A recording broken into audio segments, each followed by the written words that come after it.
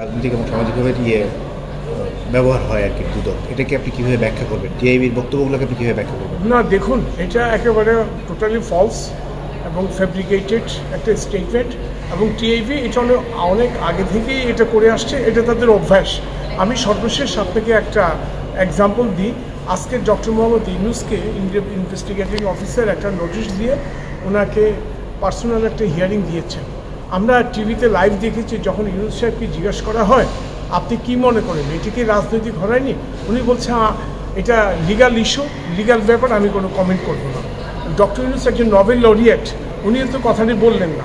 TIV হুট করে বলে ফেলতেছে, আজকে দশ বছর, বিশ বছর যাবৎ রাজনৈতিকভাবে ব্যবহৃত হচ্ছে উনি একটা এক্সাম্পল দেখান রাজনৈতিকভাবে কোনো মামলা হয়, দুদকের মামলা ডকুমেন্টারির ভিত্তিতে হয়। এই ডকুমেন্টের ভিত্তিতে দুপুর দুপুর মামলা বিচার হয়, সাক্ষ্য হয় এক্সামিনেশন হয়, ডাকা হয়। নভেল লরিয়েট বলে গেলেন, এটা লিগাল ইস্যু এর বিষয়ে আমি কিছু বলতে পারব না। আর সেখানে টিআইবি বলছে, এটা রাজনৈতিকভাবে ব্যবহৃত হয়।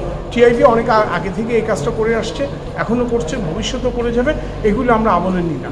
টিআইবিকে আপনি মানে কীভাবে দেখবেন তাদের কার্যক্রমগুলোকে আপনাকে হ্যাঁ, কিছু কিছু জায়গায় তো আপনারা হ্যাঁ। অবশ্যই ইয়ে করেন। না দেখুন টিআইবি তো অবশ্যই রাজনৈতিক উদ্দেশ্য আপনারা করেন আপনাদের কিছু কিছু মামলা কিন্তু পিক অ্যান্ড চুজে হয়। না না আমাদের য- মামলায় হচ্ছে রেকর্ডের ভিত্তিতে তথ্যপত্রের ভিত্তিতে পিক অ্যান্ড চুজে কোনো মামলা হয় না। পিক অ্যান্ড চুজ হয়তো মামলা হবে যদি আমি যদি কোনো প্যানেল করে মামলা করি আমি যখন দুদকের মামলা করি দুর্নীতির মামলা করি তখন আমাকে তথ্য লাগে, উপাত্ত লাগে।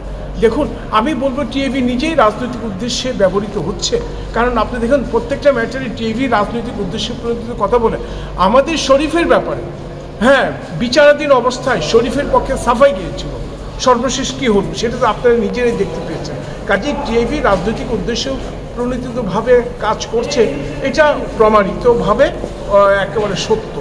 দুদক রাজনৈতিকভাবে যে ব্যবহৃত হয় না ডক্টর ইউনুসের বক্তব্যটাই আজকে প্রমাণ করে দুদক রাজনৈতিকভাবে ব্যবহৃত হয় না। কিন্তু ইউনুসের আইনজীবী বলছে রাজনৈতিকভাবে হয়রানি। কিন্তু ডক্টর ইউনুস নিজে বলেছেন এটা legal issue legal matter legally আমরা দেখব।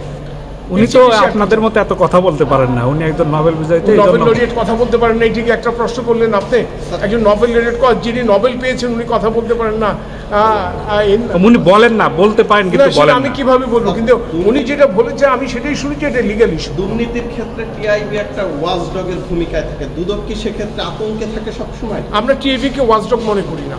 আমরা টিএভিকে মনে করি পলিটিক্যাল মোটিভেটেড একটা এনজিও ওকে থ্যাংক ইউ